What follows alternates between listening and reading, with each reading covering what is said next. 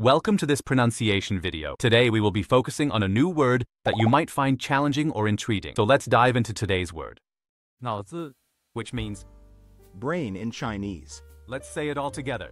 脑子脑子脑子 One more time.